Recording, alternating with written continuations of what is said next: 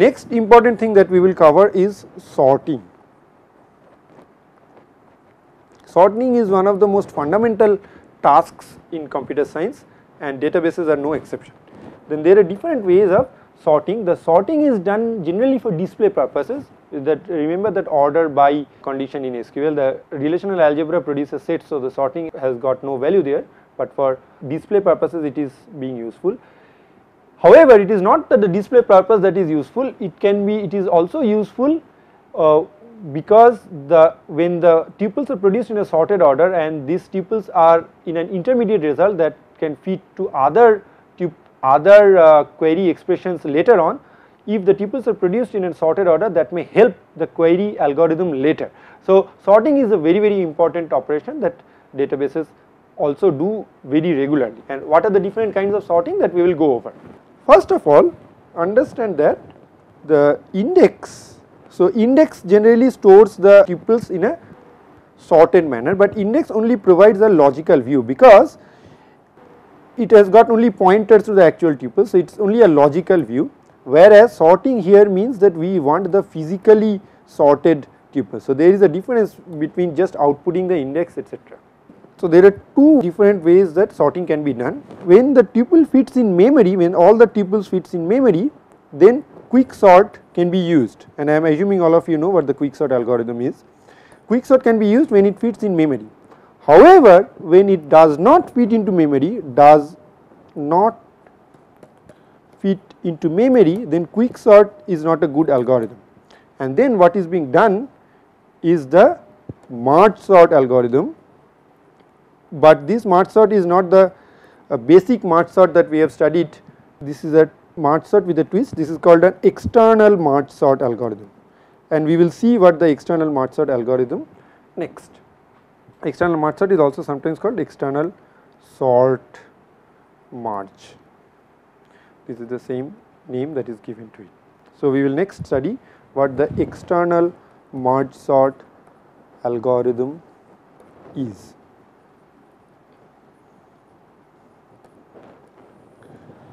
So, we will study what the external merge sort algorithm is. Now, suppose only m blocks can fit into memory, m blocks can fit into memory and the size of the relation is of course more than m blocks that is why this the entire relation cannot fit into the memory. So, what is being done is sorted runs are produced sorted runs. Now, what is a run is the following way it is being done. So, first of all m blocks are read at a time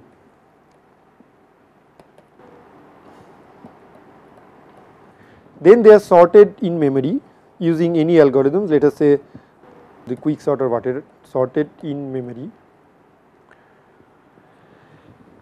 Then these m blocks are written back. So, these are the three steps that is done for each run of m blocks fine. So, what is being done is m blocks are read the first m blocks are read then they are sorted in memory then they are written back then once that is done the next set of m blocks are read then they are again sorted in memory and then they are written back and so on and so forth. So essentially this one is called a run this is a so for each run m blocks is read and sorted fine. So this is the first step after that the merge step comes which is merge m minus 1 runs at a time at a time. This is called m minus 1 way merge. So, what this algorithm does is that it reads first block of m minus 1 runs. Then it outputs first record that is the best out of these m blocks to the buffer block. So, there is a buffer block. So, that is why you see this is m minus 1 this is a buffer block that is being placed. So, that is the buffer block which is being done and once the buffer block is done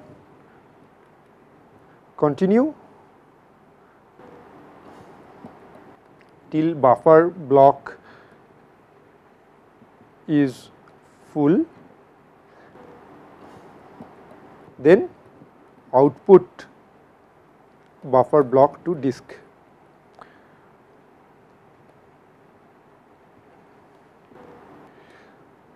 After this a new buffer block is uh, done and so on so forth is, is uh, done.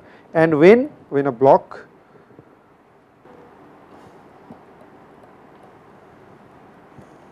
of a run is exhausted next block of that run run is read and this continues on. So, this may not even finish in the second merge because m minus 1 runs may not be enough there may be more than m minus 1 blocks that are produced in the first uh, stage. So, this keeps on going and finally the output is produced.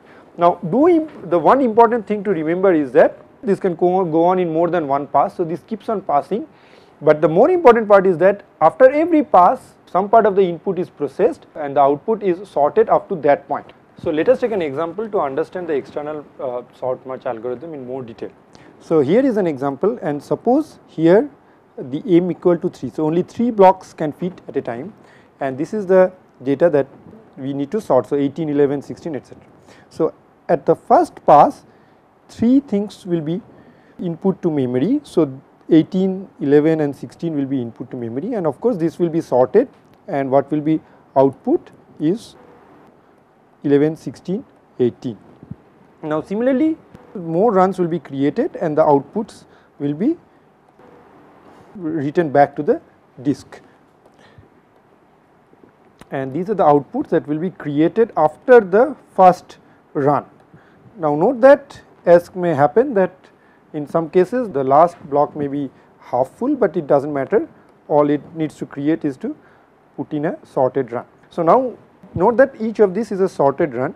Now, since the next step will be trying to do the following is that uh, since m equal to 3. So, the first two blocks first two sorted runs will be brought into memory. Now, not everything will be brought into memory only the first blocks will be brought into memory. So, what will be there in the memory is 11 and 12 then there is a buffer block created the buffer block will essentially output the first uh, out of this to the, the, the least out of this 11 and 12. So, 11 will be output will be written to the buffer block and note that each buffer block can hold up to 3 of these values. So, 11 will be created now as soon as 11 is output the next one from this uh, block which uh, had uh, 11 next one from this uh, run which had 11 the next block will be read which means 16 will be brought into memory. Now the next comparison will be between 16 and 12 and 12 will be output. Now once 12 is output 13 will be brought into memory then out of this 13 will be created and once 13 is done 17 will be brought into memory.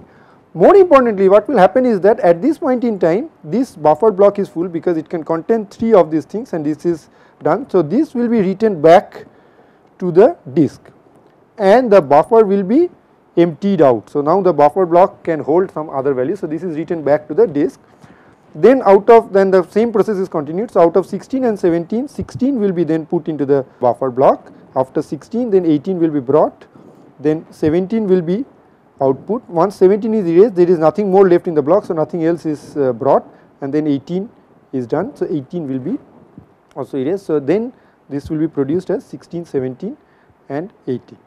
Now, in the same manner these two will be sorted and what will be produced here is the we can simply write it down 14, 15, 19, 20, 21. In the next step this there are only two blocks left now. So, these two will be sorted and the total sorted order will be produced. So, 11, 12, 13, 14, 15, 16, 17, 18, 19, 20, 21 that is being done. So, this is you see that this follows the merge sort procedure, but couple of things are taken into account is that only 3 things at a time is done because that is what the memory has the capacity and then the buffer block is used etc. This is the external merge sort algorithm and this is how the things are actually being done. Now note in this example 2 passes were not enough it required 3 passes because even in the second pass there was not enough space. The first pass is always required to create the sorted runs and then after that there may be many passes required.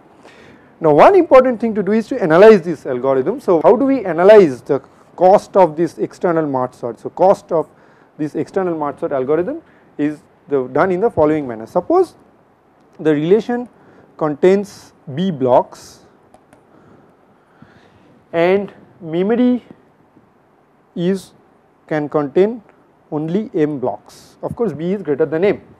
So, the total number of sorted runs that is produced, the first thing is that number of sorted runs that is produced is your B by M. Now, in each merge pass M minus 1 runs are sorted.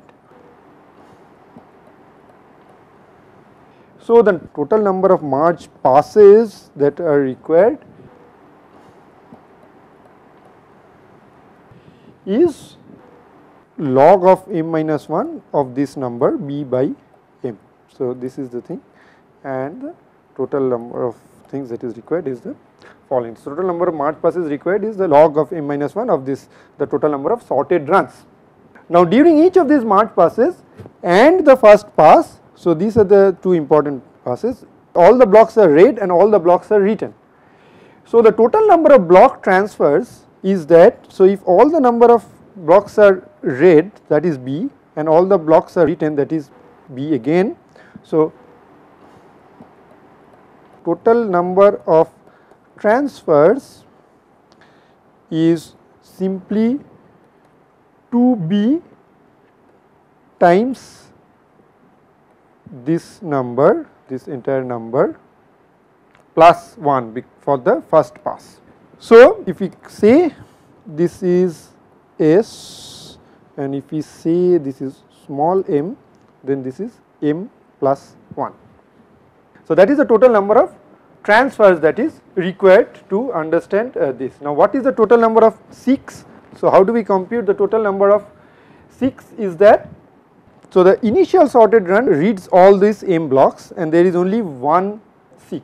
So, for the total number of seeks is twice of B by M because every time total number of sorted runs is done every time for the first run of the portion of the data is read and then written. So, for each reading the sorted run requires one seek and then writing it back requires another seek. So, it is twice the number of sorted runs. So, it is essentially 2s that is what is the number of things for the first pass this is only for the first pass.